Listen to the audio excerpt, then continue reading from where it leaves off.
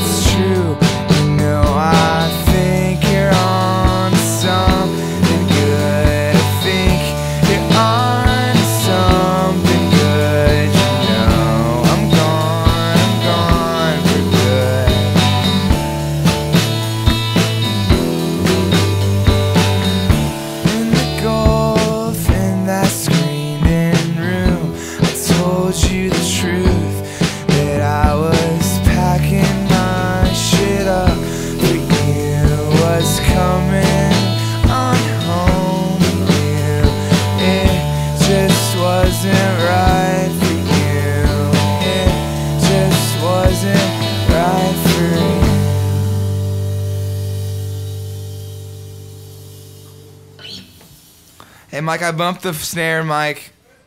Okay.